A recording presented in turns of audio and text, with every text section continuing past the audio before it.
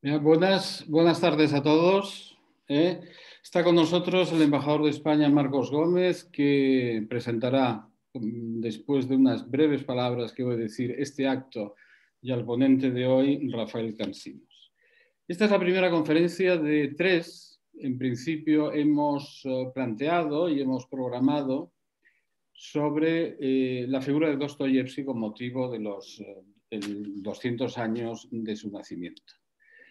Eugenio II decía que los, eh, genios se, podían dividir entre muy grandes y enormes, y que Dostoyevsky era enorme, y entre los muy grandes, que era Dante, Dostoyevsky era enorme, estaban Shakespeare y Balzac. Nunca supo nadie muy bien qué es lo que quería decir don Eugenio, pero realmente eh, Dostoyevsky es un genio enorme, con una gran influencia y presencia en España, y eso es lo que venimos un poco a subrayar, porque también puede permitir, puede permitir que el público ruso conozca otros aspectos de su clásico y conozca otros autores que hicieron de vehículo y de vínculo entre él, España, la cultura rusa y la cultura española. Y hoy está con nosotros Rafael Cansinos, que es el hijo de Rafael Cansinos Asens, el gran divulgador y el, el gran traductor de la de la obra completa eh, de Dostoyevsky a partir del año 1935 en las ediciones Aguilar y de eso versará su conferencia de hoy.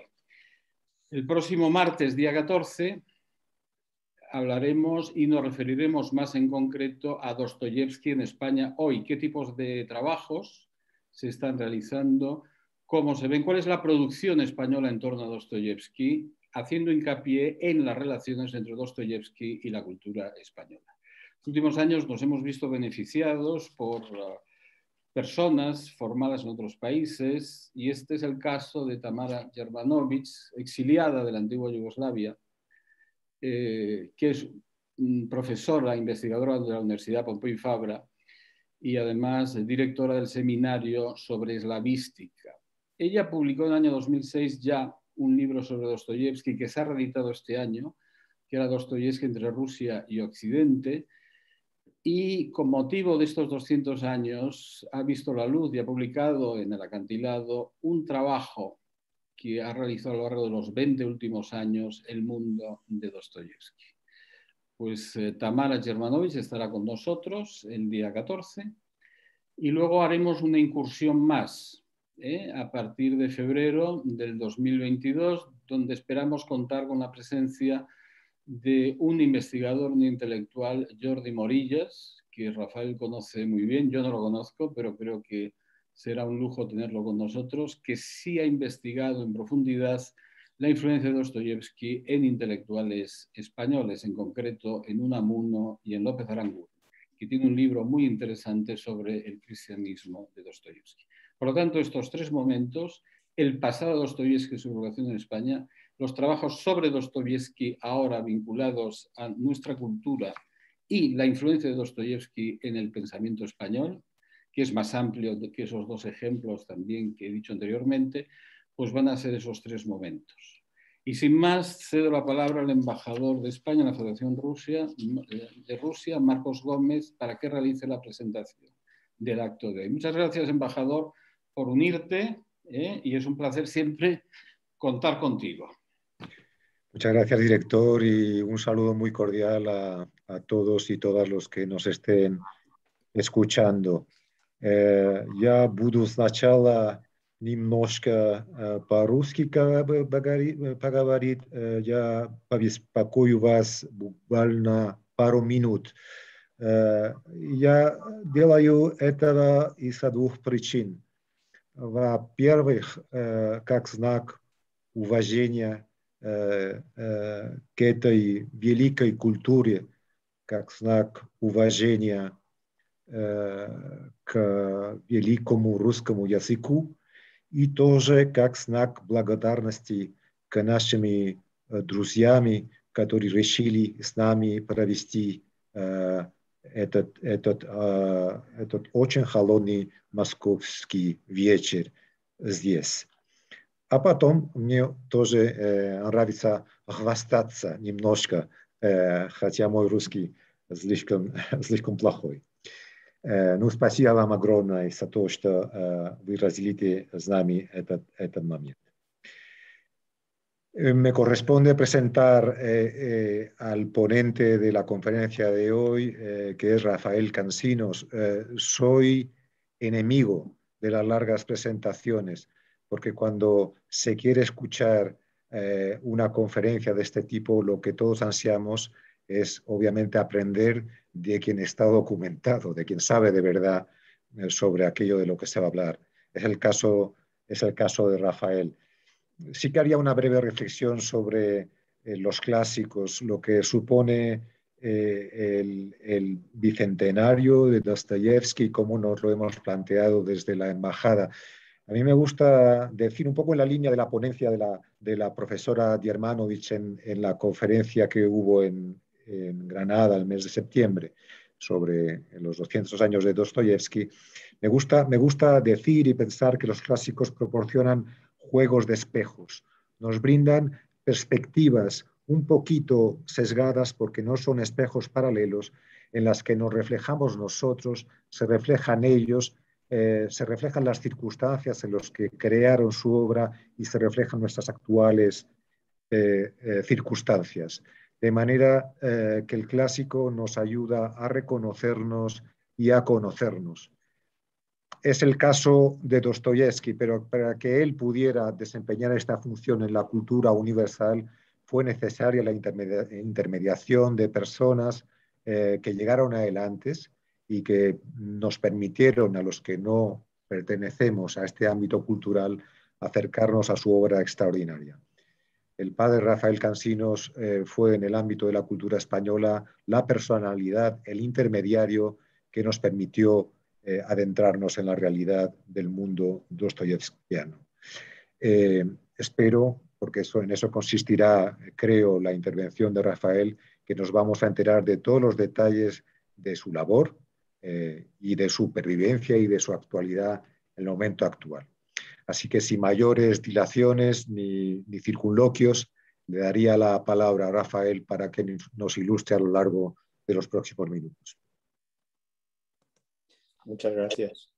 Desde la Fundación Archivo Rafael Cansinos Asens agradecemos la presentación del embajador de España, Marcos Gómez eh, Martínez, y también al Instituto Cervantes de Moscú la oportunidad que nos brinda para difundir la memoria de mi padre como traductor de Dostoyevsky y de otros importantes autores, y también como estudioso de sus obras. Hoy podemos decir, sin temor a equivocarnos, que la enorme presencia que tuvo Dostoyevsky en la segunda mitad del siglo XX en España e Hispanoamérica fue debida en buena parte al éxito de su traducción puesta en el mercado por el editor Manuel Aguilar.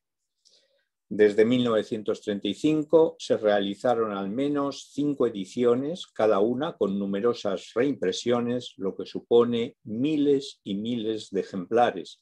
Es difícil encontrar un escritor en lengua española en la segunda mitad del, siglo pasado al que Dostoyevsky le dejara indiferente. Voy a hacer un breve repaso de la labor como traductor de Cansinos Asens durante toda su vida esta actividad le trajo muchas satisfacciones, pero también sin sabores, porque él siempre consideró la traducción como algo subalterno a su labor creadora. Todo el mundo sabe que Cansinos eh, es ante todo un escritor y por eso eh, su faceta de traductor ha provocado desconfianzas, sobre todo en el público universitario, inmerso siempre en la especialización como método de trabajo. Vamos a repasar también cómo se construyó un relato en el que Rafael Cansinos Asens aparecía como un traductor a veces deshonesto y tramposo, voluntarioso sí, pero del que dicen sus más cariñosos detractores con cierta compasión que le faltaron medios y mejores conocimientos de lenguas de las que traducía además de vender de él una imagen de lo que se llama un traductor a destajo, con lo que esto puede afectar a la calidad de las traducciones. En el lado opuesto tenemos a sus forofos, porque no se les puede calificar de otra forma. Cansinos o despierta admiraciones profundas o, odios que no, no hay eh, manera pues, de cogerlos. ¿no? Pero bueno, de estos forofos, de estos apasionados lectores, los vamos a dejar hoy de lado y vamos a centrarnos en estos otros temas. Bien, empecemos por el principio. Rafael Cansinos Asens nació en Sevilla en 1882, vino a Madrid en 1898 y no hizo en toda su vida otra cosa que dedicarse en cuerpo y alma a la literatura hasta que falleció en 1964. Ese es el resumen de su biografía. Fue un literato puro. Voy a darles unas notas de su carrera literaria ah, con unas cuantas generalidades para situar al autor en el contexto del siglo XX. Él empezó como aprendiz, eh, se puede decir así, dentro del grupo modernista conoció eh, y fue amigo de los hermanos Machado, Antonio y Manuel, de Juan Ramón Jiménez y de Francisco Villaspesa. A principios de siglo, coincidiendo con el advenimiento del modernismo, también se inició una importante campaña filosemita protagonizada por el, el doctor y senador Ángel Pulido, a la que Cansinos se ascribió rápidamente acabaría siendo en este, en este sentido uno de los grandes hebraístas españoles del siglo XX. En general se le ascribe a él a la generación de 1914, aunque eh, lo cierto es que es muy difícil situarlo en un ámbito concreto eh, de la literatura. Cultivó el salmo como forma poética, pero fue también un destacado novelista de carácter autobiográfico, ya eh, que apenas cultivó la ficción. El ensayo eh, también fue uno de sus géneros, muy vinculado a su labor como traductor, de la que vamos a hablar ahora, y como divulgador de las literaturas extranjeras, eh, ya que siempre presentaba todas sus traducciones con amplísimos prólogos que luego han ido convirtiéndose en libros. Eh, luego recordado también como animador de la vanguardia en España e Hispanoamérica, junto a sus eh, amigos Vicente Huidobro y Jorge Luis Borges. Él fue el creador eh, del ultraísmo. Dirigió revistas de vanguardia como Los Quijotes o Cervantes y mantuvo una intensa amistad con el jovencísimo Jorge Luis Borges, que luego llevaría el ultraísmo a Buenos Aires y que pasados los años le declararía a su maestro eh, por las muchas influencias y las muchas vetas eh, de, influencia que tuvo en él, desde el judaísmo hasta la metáfora, su peculiar uso de la ironía e incluso algunos matices de su increíble prosa pueden rastrearse como provenientes de su amistad con Cansinos Asens. Cansinos fue también, además, un importante crítico literario y sobre todo un enorme traductor, que es de la faceta de la que voy a, tratar en esta, en esta conferencia. Dice en uno de sus diarios, en concreto en la novela de un literato, uno no piensa que la literatura sea una cosa práctica ni un medio de vida. Para eso está el periodismo y la traducción. Y ese fue su caso. Solo tuvo un trabajo, digamos, normalizado entre 1906 y 1919, en que ejerció como periodista en la correspondencia de España. Pero incluso este trabajo le servía de excusa para hacer literatura. Y luego fue traductor y, por supuesto, se dedicó a la traducción literaria. Su primer contacto con la traducción fue en el colegio, en los Escolapios de Sevilla, cuando contaba alrededor de 12 años y empezó a estudiar latín. Ahí descubrió que tenía una habilidad especial para las lenguas y que asignaturas relacionadas con los idiomas se le daban siempre extraordinariamente bien y siempre salía con la nota de sobresaliente para gran alegría de su madre. Además, le apasionaban eh, los idiomas. Mm, no, los estudiaba únicamente como, como asignatura escolar, sino porque se involucraba en ellos eh, profundamente. En 1897, con 18 años, tenemos constancia también de que era capaz de escribir, además de en castellano, en idioma caló. Este no es un dato anecdótico, porque sabemos que poco antes de morir, con 81 años, por el testimonio de mi madre y porque conservamos gramáticas y vocabularios en su fundación, seguía estudiando esa lengua de los gitanos, a veces estudió lenguas como el chino eh, sin buscar a esos conocimientos ninguna utilidad práctica. Los idiomas le fascinaban. En Madrid, en el verano de 1900, con 17 años, le tenemos en el Ateneo asistiendo a clases de alemán con un profesor llamado eh, Carlos Lickefeld, que era ciego y utilizaba textos en braille. Obviamente no estamos hablando de una formación académica, pero hay que valorar la gran capacidad autodidacta de Cansino Sassens para el aprendizaje de las lenguas. Esta lengua, el alemán, fue luego muy importante en su actividad como traductor, porque numerosas traducciones directas, como por ejemplo cuando se enfrentó a la obra completa en ruso de Dostoyevsky, la utilizó como lengua de cotejo. Faltaban en este tiempo 50 años para que tradujera del alemán a Goethe y ya había empezado su estudio profundo. Me consta por textos inéditos que en esta temprana edad él ya veía como un medio de vida su don de lenguas y la traducción. Tenemos en su fundación un sello de estos de tampón que pone R. Miriam Cansino, traductor de idioma. Lo de Miriam viene del interés por sus orígenes judíos, que ya había empezado a investigar en la Biblioteca Nacional. Aprovecho para comentar que en este tiempo ya conocía el alefato y escribía breves frases en hebreo, otro de los idiomas de los que tradujo muy poco, pero que estudió en profundidad va consiguiendo algunos trabajitos eh, para José Nakens, el viejo republicano director del motín, traduce un folleto de propaganda, como no, anticlerical, por el que cobra un duro. Un tío suyo le consiguió un buen y prometedor empleo en la compañía de los ferrocarriles, aunque no tenía nada que ver con la literatura. Allí le dieron un volumen enorme de máquinas ferroviarias para traducir, pero literalmente se escapó de la empresa en un momento de descuido de sus compañeros y no volvió a aparecer por allí. Escribe en su diario que se resistía heroicamente, heroicamente a todos los intentos del tío por convertirme en un oficinista, en un empleado del Estado, en un cagatintas.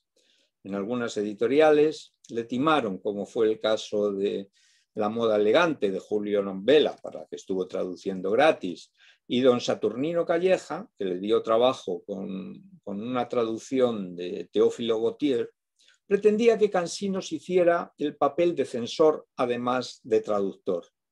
Dice Cansinos, era la primera vez que yo me enteraba de que había versiones mutiladas de las grandes obras universales. Luego, Trabajó con un aristócrata de Copete, el duque de Hornachuelos, que estaba componiendo un reglamento de policía de costumbres. El joven Rafael le traducía reglamentos análogos que regían en Francia y Alemania. Pero este era un duque tronado y además arruinado. Su forma de pago era con invitaciones, le llevaba en coche al casino, podía leer su biblioteca, etcétera, etcétera pero bueno, poco, poco de ahí. Hacia 1901 sí ocurre un suceso importante. Conoce a Francisco Villaspesa y el grupo modernista y empieza a realizar entusiásticamente breves traducciones en, en las revistas del modernismo. Su tío intentó de nuevo el rescate del que ya era un joven bohemio modernista, y le puso en contacto con un familiar catedrático, Mario Méndez Bejarano, que le animaba a estudiar, a terminar el grado y luego a hacer una carrera universitaria protegido por él al tiempo que podía ser su secretario. Sabemos que en este tiempo el joven Rafael, porque se lo cuenta a su tío eh, y lo cuenta en sus diarios, sabía ya algo de árabe y el catedrático le propone utilizar esos conocimientos para ayudarle con algunos trabajos académicos suyos. Por supuesto, esto al, joven Rafael no le interesó en absoluto. Sus amigos no volvió nunca, nunca más por, a visitar a su tío. Sus amigos bohemios le animaron a traducir para la España moderna, porque ahí había un camino para ganarse la vida y podía además hacerse firma, que era lo que él más ambicionaba como escritor. Escritores como Unamuno o Valle Inclán traducían para esa misma editorial, la España moderna. Y así conoció a José Lázaro Galdiano, que pagaba las traducciones a 30 duros, le dio los English Trades de, de Emerson y Cansinos, contentísimo, porque Emerson era entonces un autor de moda, pronto se dio cuenta de que para traducir a determinados autores, estamos hablando de un Cansinos que tenía 19 años, no era suficiente con saber inglés. El lenguaje de Emerson era muy complicado y su inglés, el inglés de Cansinos, era muy precario, aprendido con una vieja dama hispano-británica, bilingüe, Sofía Jardín, venida muy a menos y que sobrevivía de tocar el piano en garitos nocturnos y manejando como proxeneta jóvenes prostitutas. Sophie tenía 50 años y el joven Rafael 19. Además de recibir de ella clases de inglés, Rafael era su amante.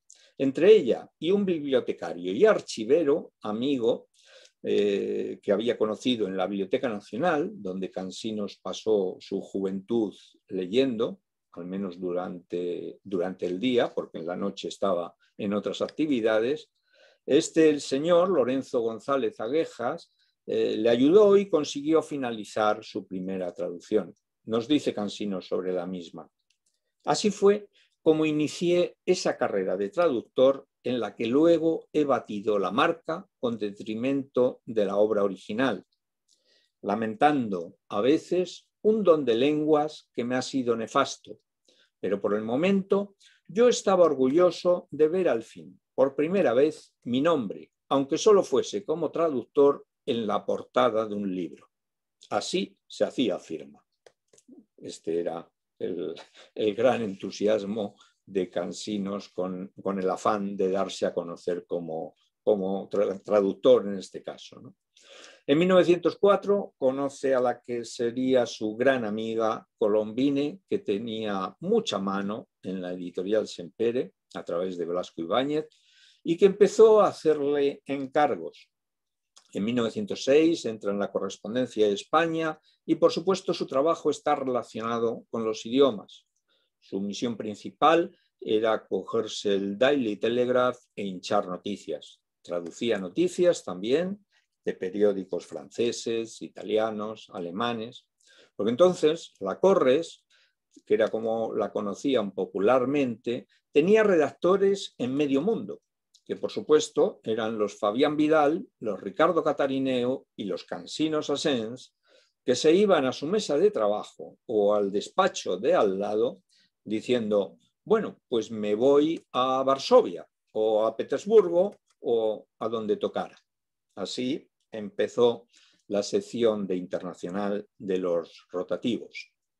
En 1911 nos enteramos de algo sorprendente. En una conversación con otro redactor de la Corres, Guillermo Ritwagen, o Ritwagen, corresponsal en Marruecos, le dice Cansinos que él solo puede traducir del árabe literal. Estamos ya en un Cansinos que tiene unos 24 años así. Recuerden que les he contado que cuando tenía 18, 19 ya estaba hablando con su tío, el catedrático, que le podía ayudar con traducciones en árabes. Entonces le dice que él puede traducir del árabe literal ya, pero no del vulgar. que hablan los moros. Esto nos da una idea de la pasión de Cansinos por los idiomas y de la persistencia en su estudio. Faltaban todavía 35 años para que se metiera con la traducción de las Mil y una Noches o del Corán. En 1914 llegó a Madrid Mas Nordau, el gran líder sionista que había sido la mano derecha de Herzl. En sus primeros tiempos en Madrid, Cansinos hizo para él el papel de secretario y también de traductor.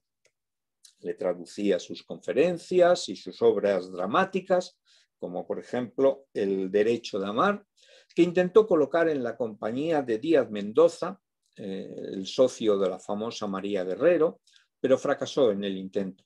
Luego gestionará con el editor Palomeque algunas traducciones de obras literarias de Nordau que sí se publicarán. También traducía en este tiempo, gratis et amore, para revistas como Los Quijotes o Cervantes, donde se estaba fraguando el movimiento ultraísta del que él iba a ser el gran adalid y el creador del movimiento.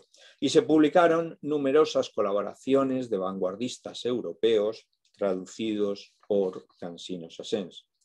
Esto duró hasta finales de 1918, en que, harto del periodismo y de su director en el periódico, Leopoldo Romeo, decidió finalizar esta etapa de su vida y a partir de ahora solo tendrá ingresos de sus colaboraciones literarias y críticas en la prensa y, sobre todo, de sus traducciones.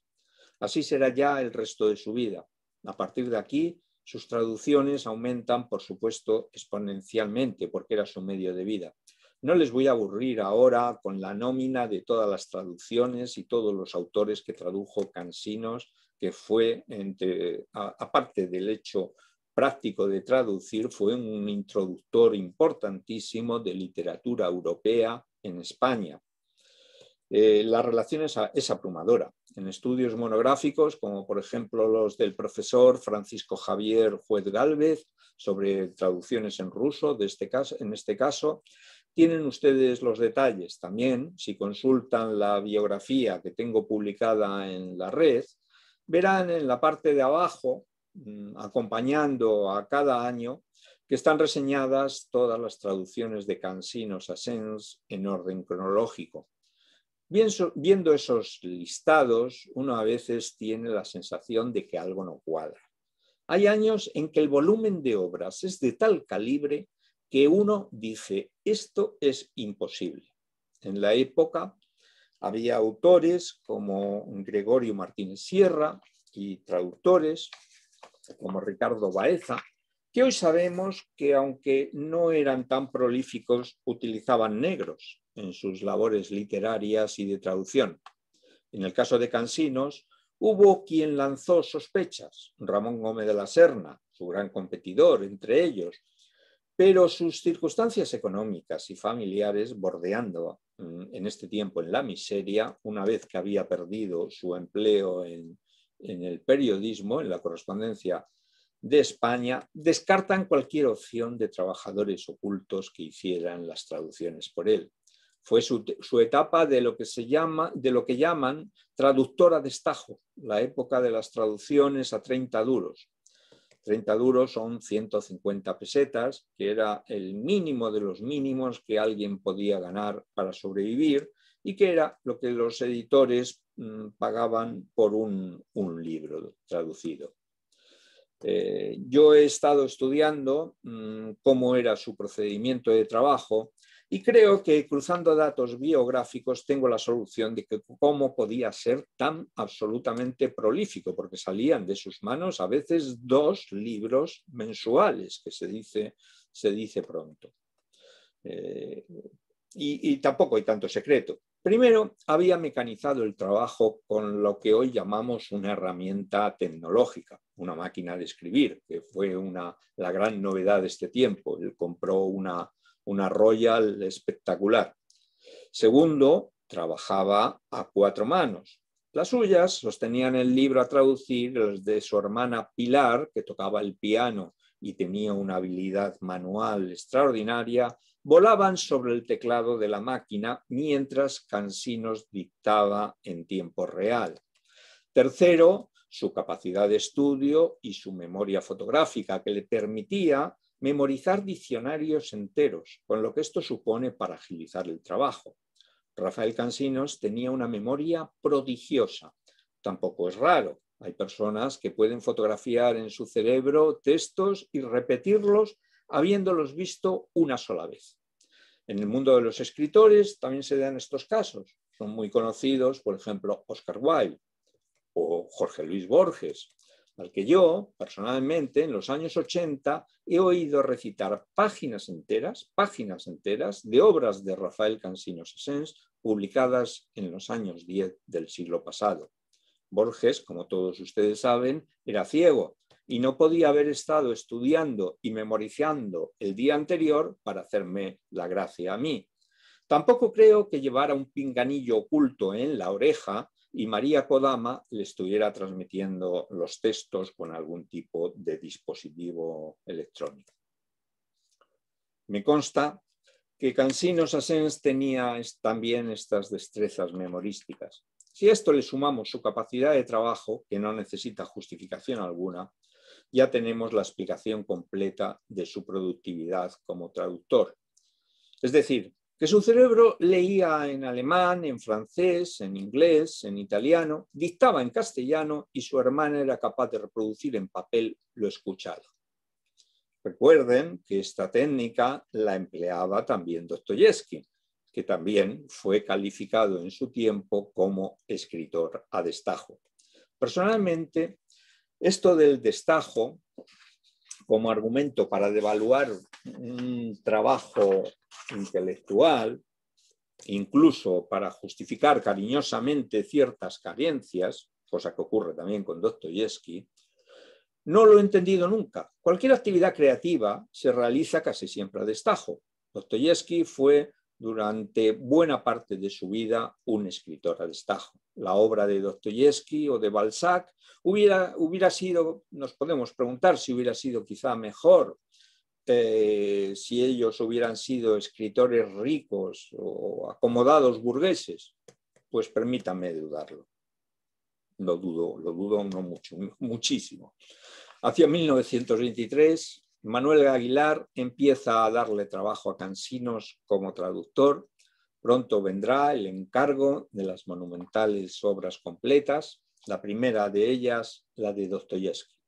Pero hagamos un inciso en 1926, cuando Cansinos Asens tiene un tropiezo importante con otro traductor, Ricardo Baeza, y recibe el palo más sonoro de su vida por una traducción, la de la obra de Lord Arthur Douglas, Oscar Wilde y yo. Baeza le acusó de mendacidad, porque en su opinión toda esa obra estaba traducida del francés y no del inglés, como había puesto el editor en la portada y también de haber escrito un prefacio indigno.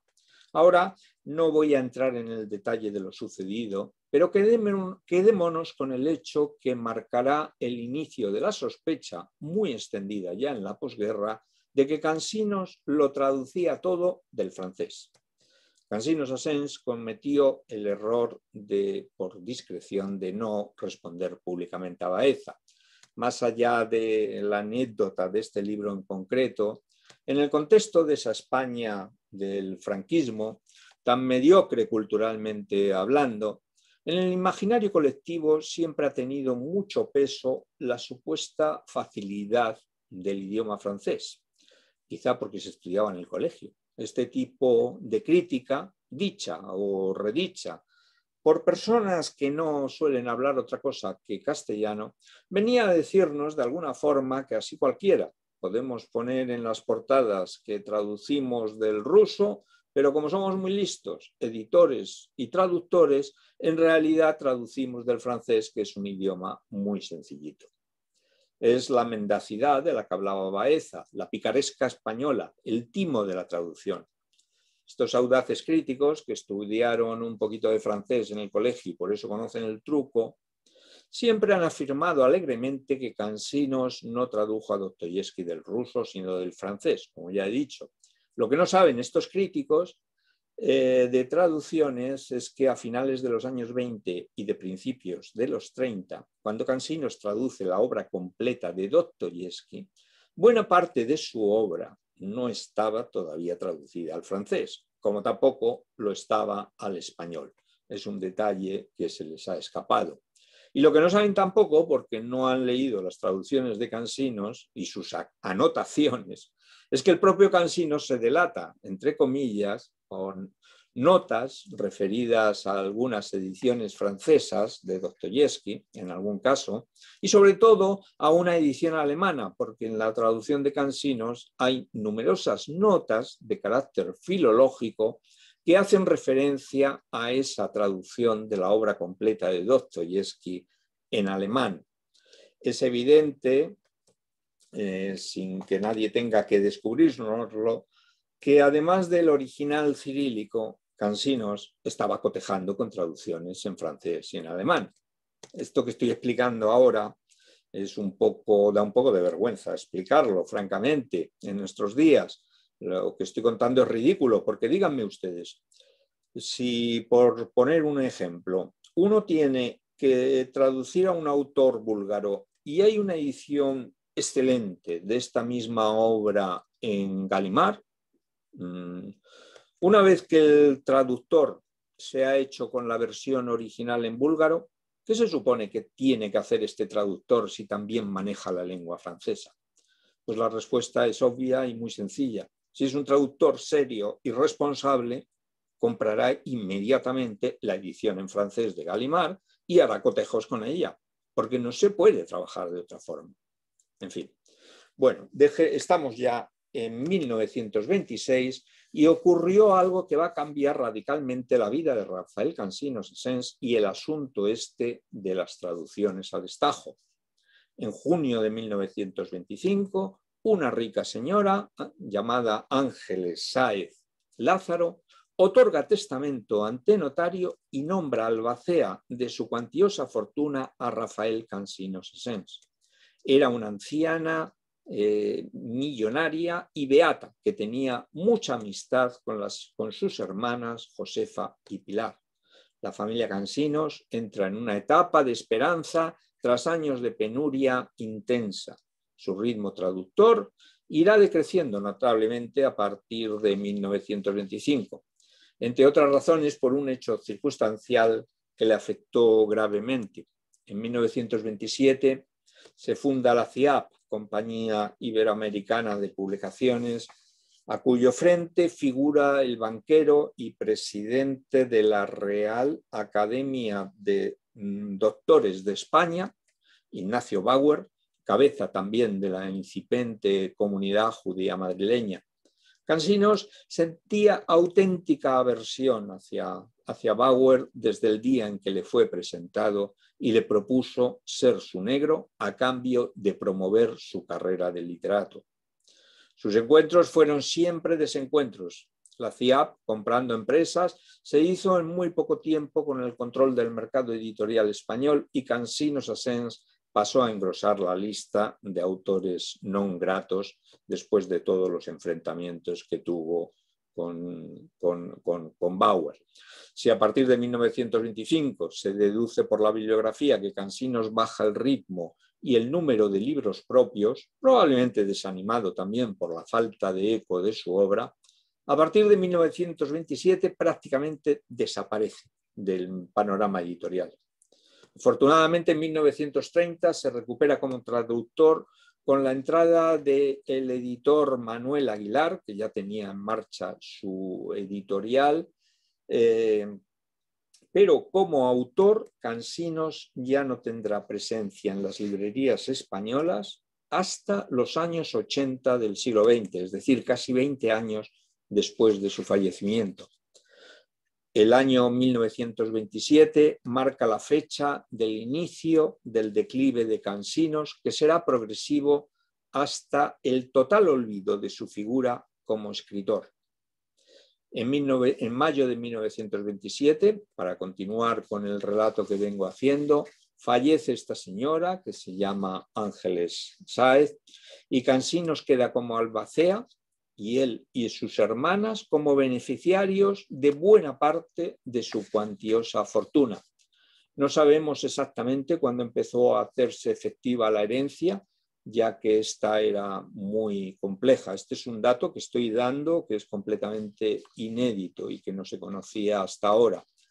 Pero podemos decir que hasta 1930, más o menos, llega su etapa como traductor a destajo, es decir, como traductor apremiado supuestamente porque mm, digo supuestamente voy yo esto nunca me lo he creído y mi madre nunca me ha hablado en estos términos de cansinos, pero bueno, existe dentro del, del mundo literario esta teoría de traductor apremiado supuestamente por editores buitres que lo esclavizaban.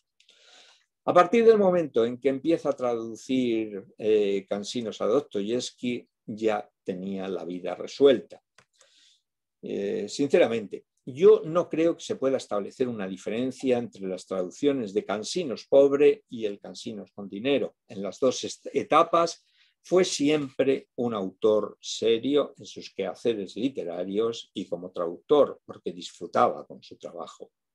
A partir de 1928, en ese contexto en que la CIAP domina el mercado y elimina Cansinos Asens de las novedades editoriales, Manuel Aguilar, competencia directa de, la CIAP, le da trabajo y empiezan a, aparecer traducciones de obras eh, de autores muy importantes como H.G. Wells, Ferdinand Osendowski y otros autores, muchos de ellos propuestos a la editorial por el propio Cansinos Asens. Cansinos no solo era traductor, sino que también asesoraba a estos editores sobre lo que tenían que sacar.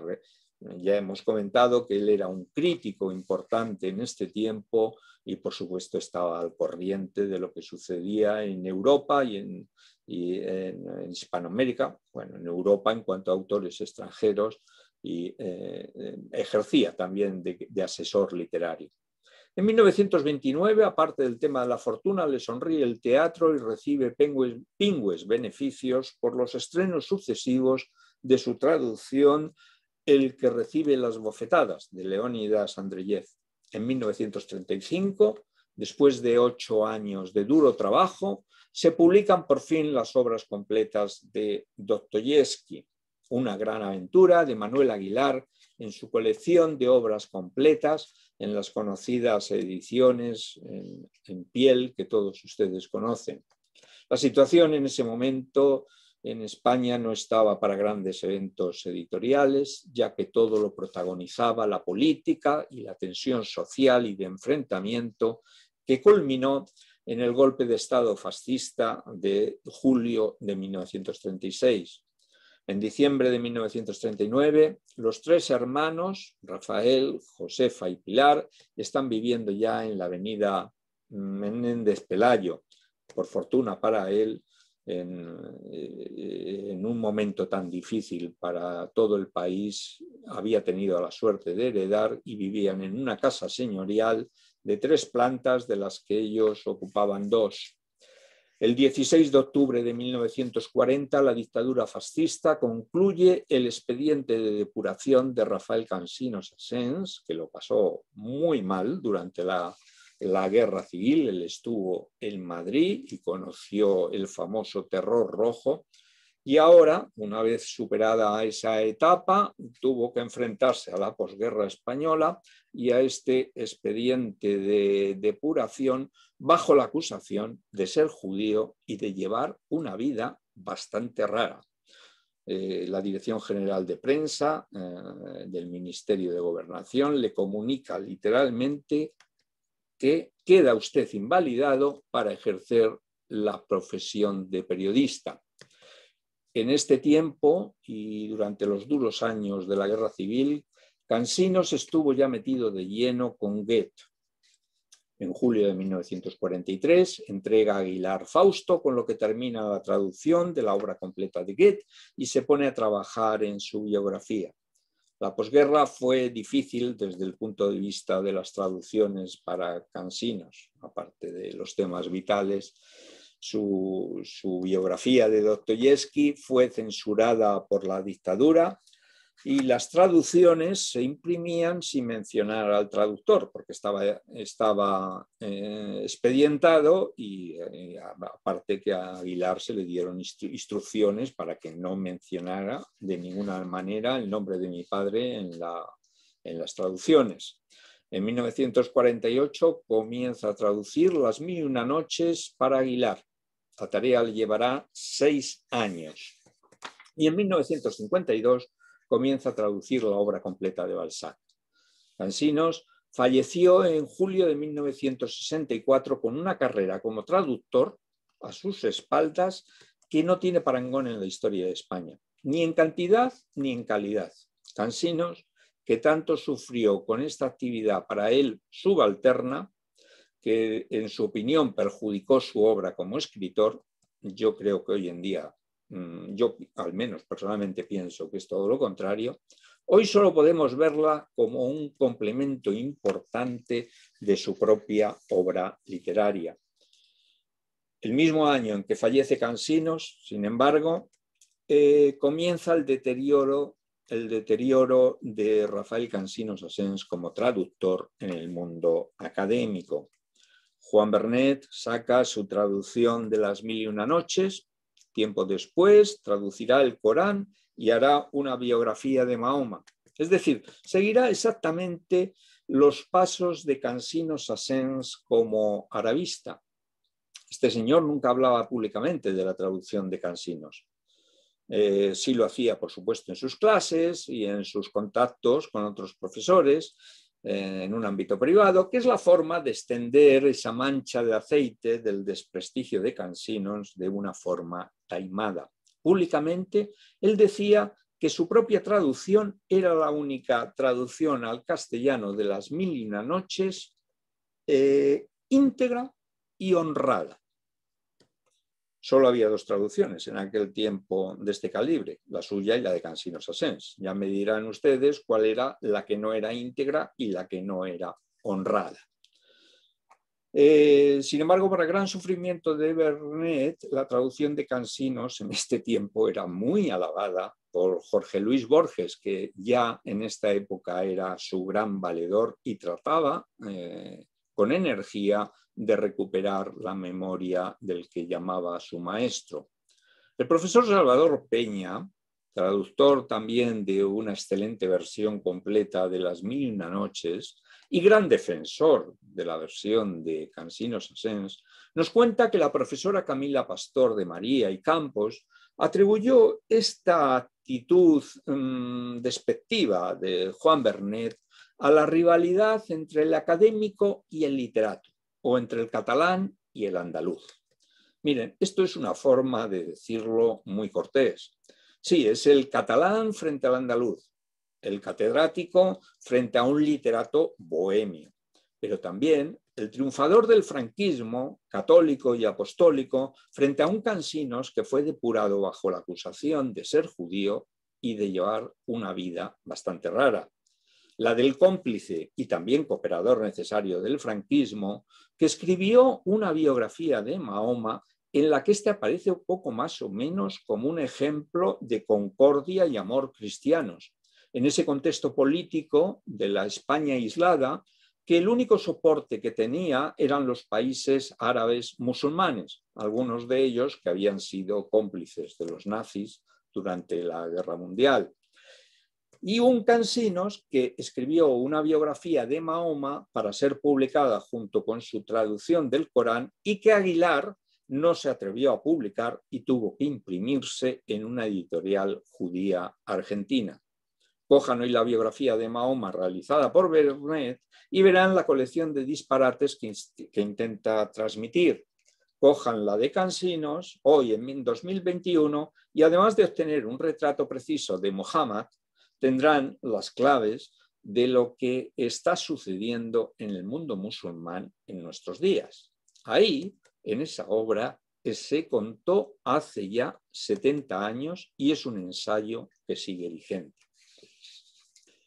Les recuerdo, al hilo de todo esto, que con la llegada de la democracia a España hubo una transición que siempre se presenta como un modelo de concordia, y sin duda lo fue, y, y no se puede decir otra cosa pero también debemos tener en cuenta que como todo en la vida hay zonas oscuras, inevitables, como eh, el hecho de que el rancio cuerpo académico del franquismo se mantuviera sin cambios en la Universidad Española. Esto para mm, algunos autores, como Cansino Sassens, fue fatal. Generó inercias que han alcanzado incluso a nuestros días. Un profesor universitario a lo largo de los años tiene mucho, muchísimo público y puede hacer mucho daño, tanto como los editores sin escrúpulos, aunque estos son más transparentes, y sus críticas siempre van orientadas por un interés económico en la dirección de eliminar a la competencia. Veamos el caso de Dostoyevsky. En 2009, el también catedrático Ricardo San Vicente saca el primer volumen de la obra completa de Dostoyevsky con grandes alaracas, en Galaxia Gutenberg. Es un caso curioso, él aparece como editor y se pone en portada y cubierta y manda a los traductores a los créditos, porque es un popurrí de traducciones diversas revisadas por él. Nunca ha vuelto a salir otro volumen. Ricardo San Vicente basó su presentación en frases como esta. Leo literalmente.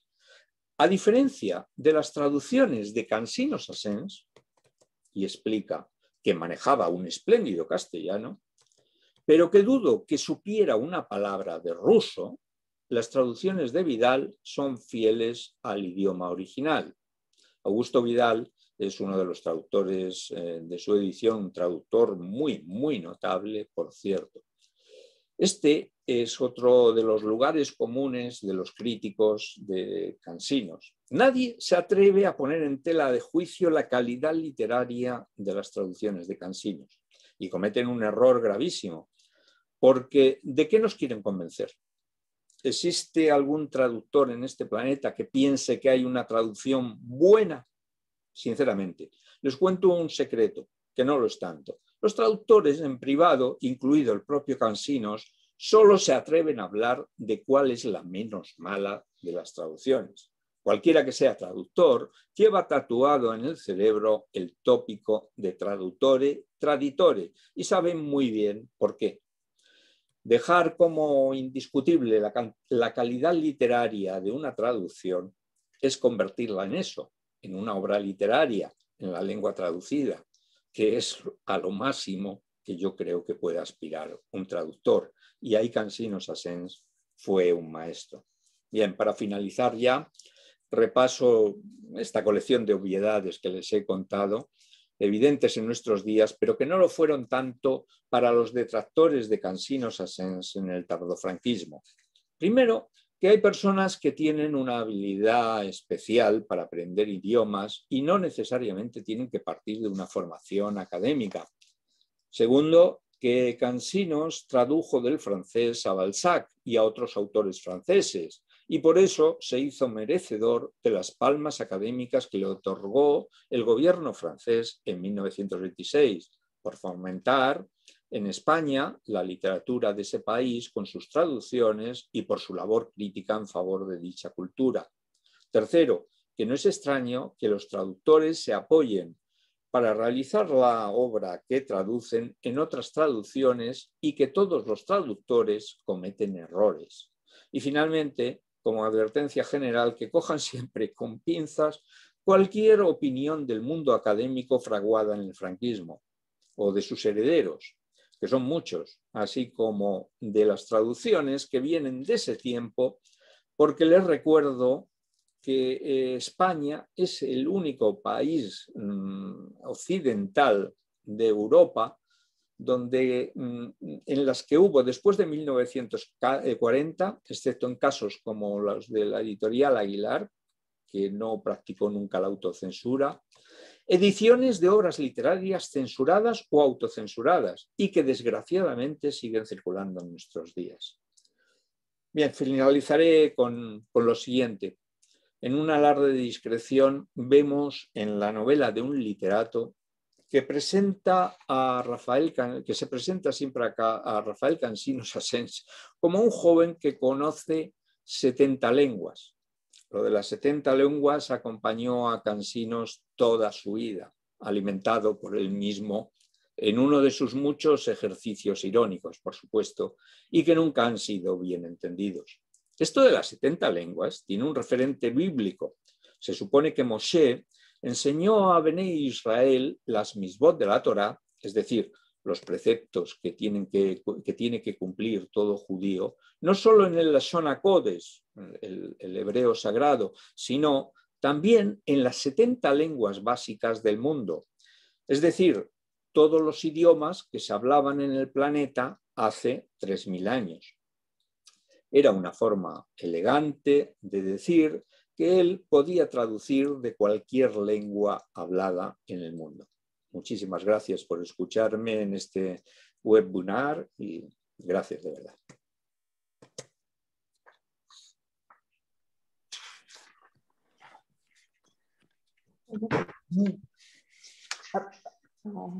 Rafael, muchísimas gracias. Ya empezamos a recibir agradecimientos por su magnífica charla y no en vano ha figurado la mención uh, de Mil y una noches, porque realmente la vida y la carrera de Cancinos es una mil y una noches del mundo de traducción. Uh -huh. Y la primera pregunta que tenemos aquí, uh, ¿cuál es el concepto de subconsciente en Dostoyevsky en el que se debutó Cancinos? ¿Y nos podrías decir algo sobre su consideración de los autores rusos que tradujo? Bueno, esto de, que está en el título de la, de la obra que, estamos editando nosotros, que son las, eh, la obra completa de, de Dostoyevsky, tal y como la editó Manuel Aguilar. Ya hemos sacado dos títulos.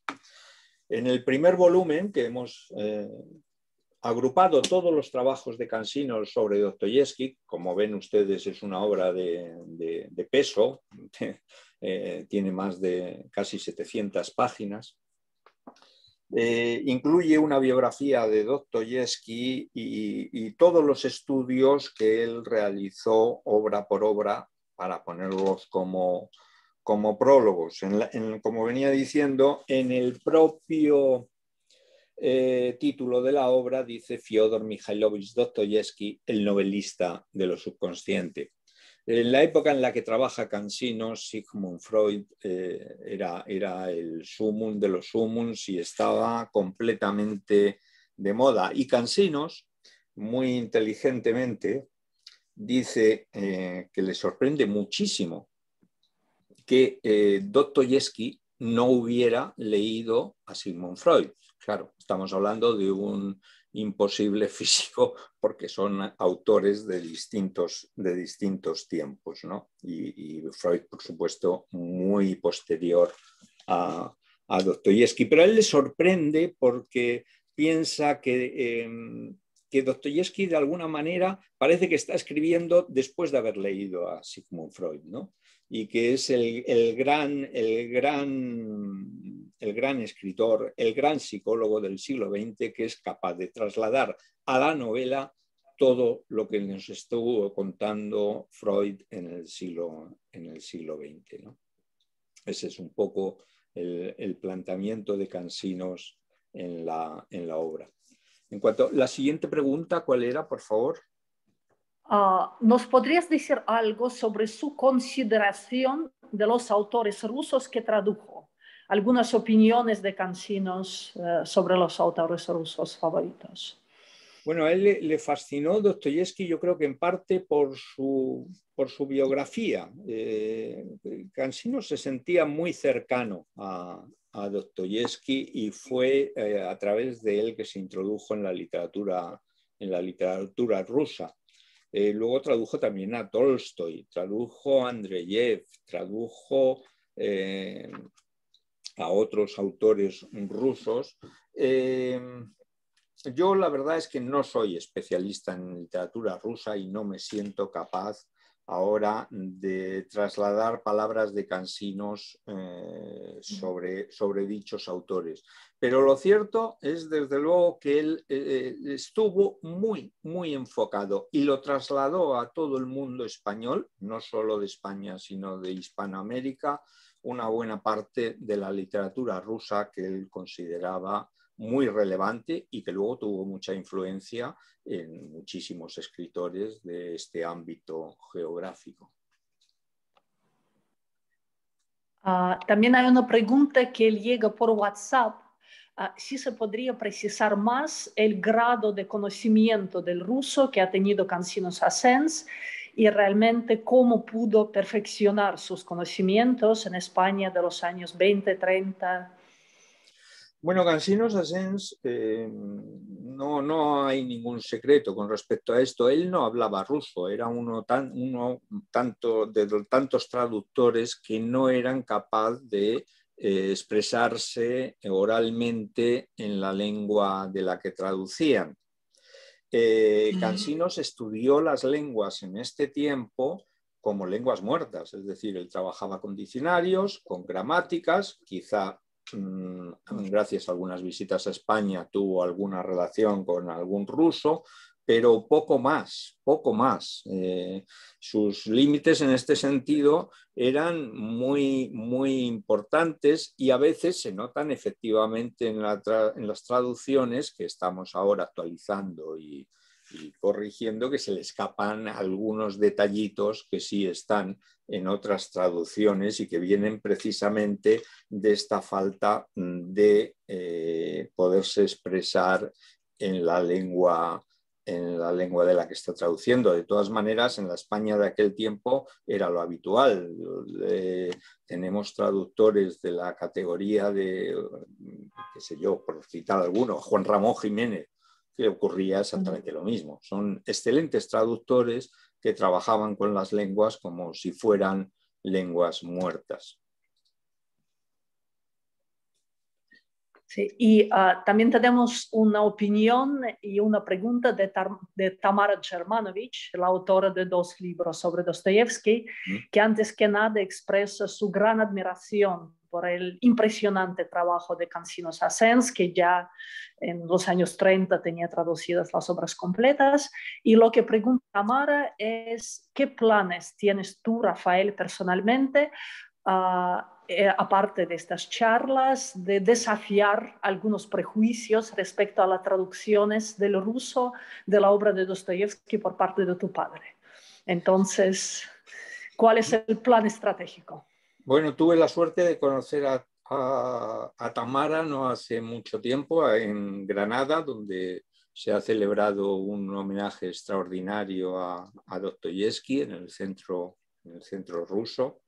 Y y ya tuve ocasión de conocer cuál es su, admiración por las traducciones de mi padre. Bueno, eh, lo que estamos haciendo es situar otra vez las traducciones en el mercado de, eh, de Cansinos Asens. Hoy, indudablemente, eh, existen muy buenas traducciones de Dostoyevsky. Esto no lo podemos obviar. no sé si toda la obra está traducida al castellano, porque lo cierto es que a día de hoy la única traducción completa y de mano de un único traductor es la de Cansinos, pero existen muy, muy buenas traducciones. Y lo que estamos haciendo nosotros es simplemente ponerlas en el mercado otra vez con unas revisiones que no se crean ustedes que, son tan importantes, corregimos errores muy evidentes, pequeñas eh, fallas eh, con respecto a algunos conceptos, eh, en fin, correcciones mínimas. Eh, el tema de los, del abuso de enclíticos, que estaba de moda en este tiempo, y las volvemos a situar en el mercado con, con, bastante éxito, la verdad. Hombre, ya no, ya no es el tiempo de Aguilar en que estaba prácticamente en exclusiva la traducción de Cansinos, ¿no? Eh, pero la gente le sigue gustando este estilo de traducción de, de Cansinos Asens con Dostoyevsky, le sigue gustando. Y precisamente dos preguntas que ponen en evidencia el conocimiento de los lectores de algunos detalles de la cocina literaria de Cansinos Asens en sus traducciones. La primera es si es verdad que traduciendo uh, trabajó con las fotos de los autores, estableciendo una especie de diálogo visual. Y la segunda es si es verdad también que uh, optó por el español decimonónico para precisamente dar este toque del 19 a sus traducciones.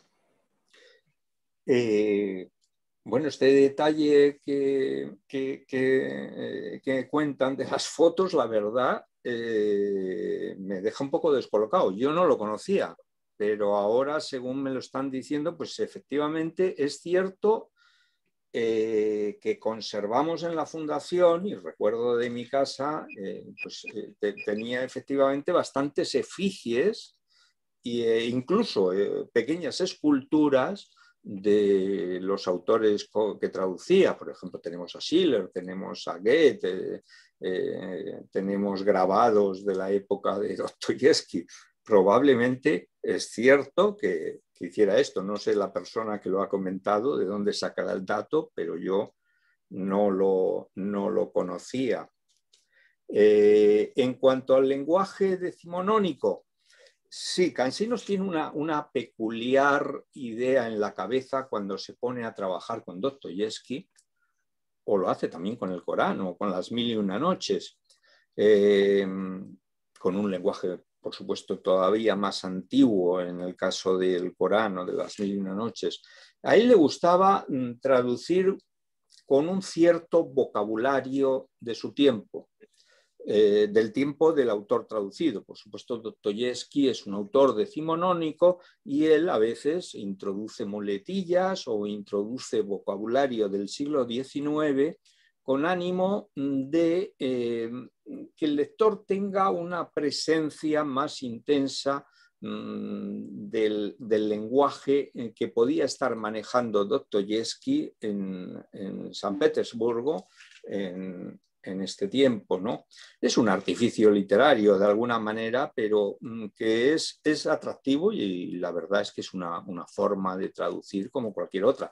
En cuanto a las mil y una noches o, al Corán, pues mete numerosísimas frases pues, de español del siglo XV, que es cuando empieza a utilizarse ampliamente el castellano, y trae ese tipo de lenguaje para, con, esa finalidad, ¿no? de que el lector tenga una sensación más mm, viva del autor que está traduciendo. Ah, bueno, tenemos otros agradecimientos y, ah, y, una pregunta que creo que ya ha habido respuesta a esta pregunta, pero sí se puede considerar traducción como un género literario y si realmente traduciendo Cancinos Asens se sentía como un escritor. Yo creo, que Yo creo que sí, yo creo, claro que sí, se puede considerar eh, un género literario más en la, en la trayectoria de un escritor, eh, porque mm, la, traducción es un artificio, siempre lo ha sido, ¿no? Eh, entonces está siempre en función de la propia calidad de ese autor con su trabajo en, la lengua, eh, su capacidad de expresión, su, meterse en la figura del, autor al que está traduciendo, eh, eh, indudablemente es lo que da la vida a las traducciones y eso acaba siendo al final una, obra literaria mm, propia. Muchos autores lo consiguen. Salvador Peña, he contado durante la conferencia cómo destaca de la traducción de las mil y una noches, que a veces adolece de defectos, a veces se pasa en cuanto a textos que se introducen y que no está muy claro que debían estar ahí en las mil y una noches o falta alguna cosa o tal, pero a él le fascina y, no duda en vender la propia traducción de Cansinos, aunque él tiene la suya propia, eh, como una gran y monumental obra literaria propia de Cansinos Asens. Y nosotros trabajamos en esa dirección en la fundación, es decir, nosotros le damos mucha relevancia a la hora de editar, es decir, vamos editando su obra, pero no nos hemos olvidado de las traducciones porque yo creo que tienen eh, un papel importante en su biografía y en su quehacer literario. Evidentemente es un género más la traducción. Rafael, muchísimas gracias. Además, tenemos una coincidencia simbólica porque hoy es el día de Santa Catalina y además siempre se decía que Santa Catalina hablaba 70 idiomas. Y ah. hoy, gracias a tu explicación, sabemos de dónde proviene esta cifra. Entonces, si uh, señor embajador o Juan Carlos Vidal no tienen más preguntas o algunas apreciaciones, podemos despedirnos, pero decir que vamos a contar ah, con su libro y los libros de su fundación en la biblioteca del Instituto Cervantes de Moscú ah, y seguiremos con nuestro homenaje a 200 aniversario de Dostoyevsky el próximo martes ah, con la conferencia de Tamara Germanovich.